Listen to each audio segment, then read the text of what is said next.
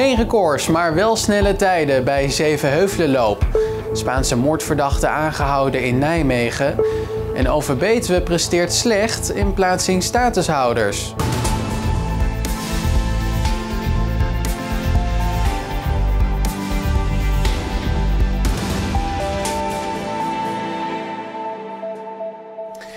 Ze moesten er drie jaar op wachten, maar zondag konden hardlopers dan eindelijk weer hun hart ophalen bij de Zevenheuvelenloop.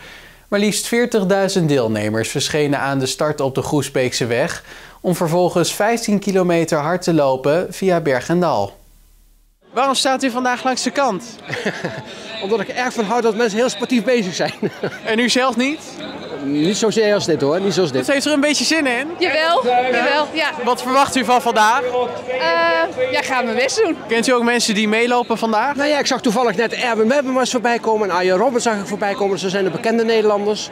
Maar verder, eh, nee, verder geen... Ja, mijn neefje loopt mee. Sorry, mijn neefje loopt nog mee. Dus... Nou, toch nog een bekende vandaag. Zo is het, zo is het. Gaat u het volhouden zo de hele tijd langs de kant staan in de kou? Nee, wel genoeg te zien en te beleven, hè. dus uh, nee, zeker. Over een paar minuten gaat het van start. Nog even warming up. Heb je nou een goede manier om uh, warm te worden? nou, dat is lastig. Zeker omdat het ineens koud is. Kun je niet, heb je niet aan kunnen winnen. En je staat toch weer stil in het vak. Dus nou ja. Maar als we allebei nou even gaan springen of zo, dat we even warm ja, worden? Ja, ja, oké. Nou, dan gaan we springen. Zo, even warm worden. Ja, ik ben even aan het opwarmen. Ja, en bent u al een beetje warm aan het worden? Nou, dat valt nog tegen. Oh. Hoop onderweg even te worden nog, van het lopen. Dag mevrouw, bent u lekker aan het warming up, hè? Ja, lekker. Ja, heeft u zin in vandaag? Ja, zeker. Wat verwacht u ervan? Een mooie wedstrijd. Goed getraind van tevoren? Uh, nou, ik heb niet speciaal voor dit getraind, maar ik denk wel dat het goed komt.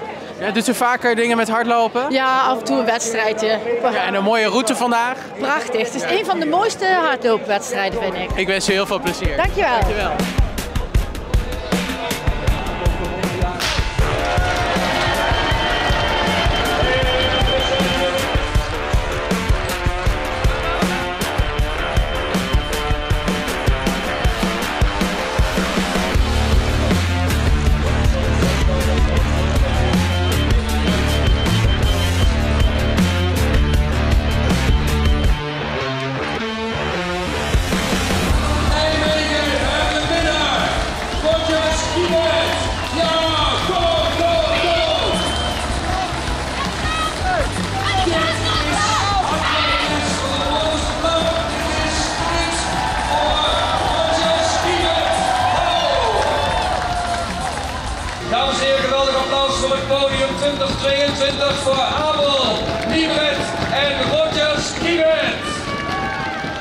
Hoe ging het? Heerlijk. Ja? Topweertje. I've always heard that it's a great competition and uh, I always wanted to run here. I'm really happy with today. I found it very tough. Just coming back from a holiday and then I got it sick. So um, yeah, very tough running today, but I really enjoyed it. Really. How are you now? Yeah, I'm all good now. I've only had two weeks of training, so I think the distance today was very tough for me and the hills. Was het lekker om met deze temperatuur te rennen? Heerlijk, ja, echt perfect. Echt perfect. Ik heb twee, drie weken geleden Frankfurt Marathon, 3, 22 graden.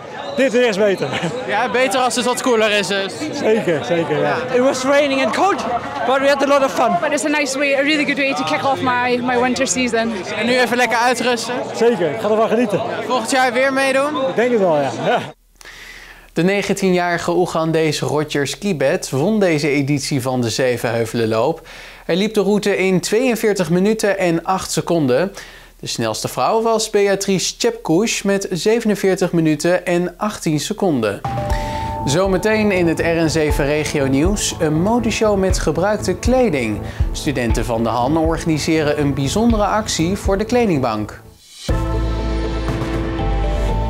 Een arrestatieteam heeft twee Spaanse moordverdachten van 19 en 22 jaar aangehouden in Nijmegen. Ze worden verdacht van het doodschieten van een Spanjaard en het dumpen van het lichaam in de omgeving van Sevilla. Het onderzoek leidde naar een woning in Nijmegen. Daar zijn de twee door een arrestatieteam van de dienst speciale interventies donderdagavond aangehouden. Ze worden vermoedelijk binnenkort uitgeleverd aan Spanje. Gelderse gemeenten hebben nog zes weken om duizend statushouders onderdak te geven. Het aantal vluchtelingen met een verblijfsvergunning dat ze moeten huisvesten groeit volgend jaar, dus het probleem wordt alleen maar groter. Veel Gelderse gemeenten lopen ondertussen hopeloos achter de feiten aan. Zo blijkt allemaal uit onderzoek van Omroep Gelderland. In onze regio doet Druten het het best. Zij hebben momenteel 87% van het totale toegewezen aantal statushouders gehuisvest. Over Betuwe scoort het slechts met nog maar 48%. De Fiat heeft 1 miljoen nep-coronatesten gevonden in een loods in Nijmegen. Met hulp van de douane zijn de testen afgelopen vrijdag in beslag genomen. Via een tip bij de douane kwam de opsporingsdienst de loods op het spoor. Een bron zei dat er in de loods nep-coronatesten zouden liggen die vanuit China naar Schiphol waren gestuurd. De testen zouden uiteindelijk via Maastricht op de Duitse markt moeten belanden. Flitsbezorger Gettier weigert te vertrekken uit het centrum van Nijmegen. Dat meldt Dagblad de Gelderlander maandag. De bezorgfirma is sinds maart dit jaar in de Karregas in het centrum gevestigd, maar deed dit zonder vergunning. De gemeente wil het bedrijf daarom weg hebben en zegt een dergelijk bedrijf, dat binnen enkele minuten boodschappen thuis bezorgt, niet thuis hoort in de binnenstad. Het zou te overlastgevend zijn en de verkeersveiligheid zou in het geding komen. Gettier heeft inmiddels een bezwaarschrift ingediend. De gemeente dreigt al met dwangsommen. Studenten aan de hand slaan hun handen in één voor een kledingbeurs op 10 december. Ze organiseren dit voor de Kledingbank in Nijmegen om extra kleding in te zamelen, ook voor het vergroten van de naamsbekendheid van de Kledingbank. De voorbereidingen zijn in volle gang. Wij gaan op 10 december bij de Teameloods in Nijmegen gaan wij een evenement organiseren voor de Kledingbank.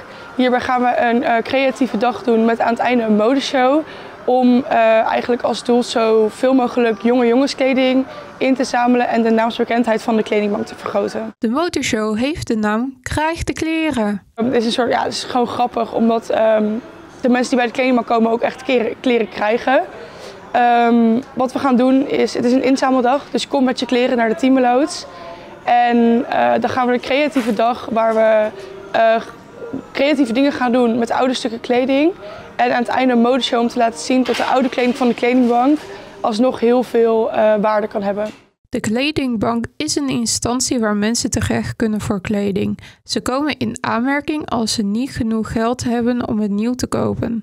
Peter werkt bij de kledingbank in Nijmegen. Hij begeleidt de studenten. De Han heeft ons benaderd tot onze vreugde met het idee: zouden we eens een event kunnen organiseren voor jullie? Dat was uh, uh, een welkome verrassing, we waren er heel blij mee. En ik ben dus uh, met een van de vrijwilligers wezen speeddaten. En daar is de samenwerking met het huidige team uit ontstaan. Iedereen is welkom. Um, of je nou kleding hebt om te doneren of niet, mag je gewoon komen. Het wordt een creatieve dag waar we gezellig met z'n allen leuke dingen gaan doen.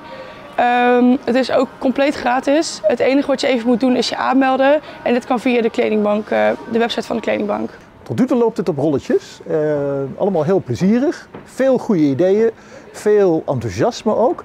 En nu nog inschrijvingen en dan, uh, dan wordt het een succesvol event. Het voornamelijkste doel wat we willen bereiken met het evenement is zoveel mogelijk um, kleding in te zamelen. En vooral um, jonge jongenskleding, omdat dit, de kledingbank dit het hardst nodig heeft. Daarnaast is ook een van onze grote doelen de naamsbekendheid vergroten. Zodat de toevoer van kleding bij de kledingbank blijft groeien. Nou, ik zou kwijt willen dat ik ontzettend blij ben met het initiatief van de HAN en van de studenten. En ja, dat ik iedereen uitnodig om vooral te komen. Het wordt een topdag op 10 december. Uh, komt alle. En gaat u zelf ook nog meedoen met de motorshow? Ik weet dat er veel vraag is naar kleding met grote maten. Uh, maar ik denk niet dat ik een feest ben in de modeshow. Ik ga wel vrijwilliger zijn op die dag. En ik hoor wel van de studenten wat ik doen moet.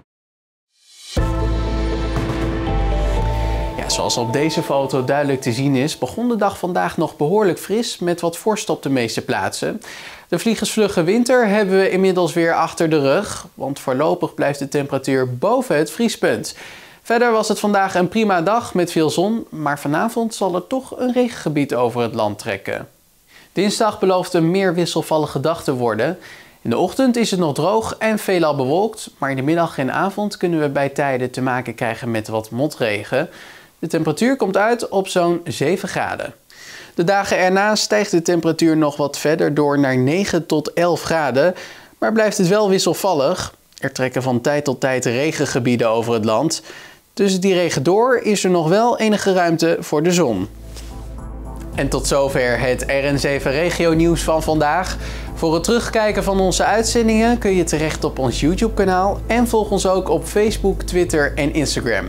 Voor het laatste nieuws kun je altijd terecht op onze website rn7.nl. Graag tot morgen!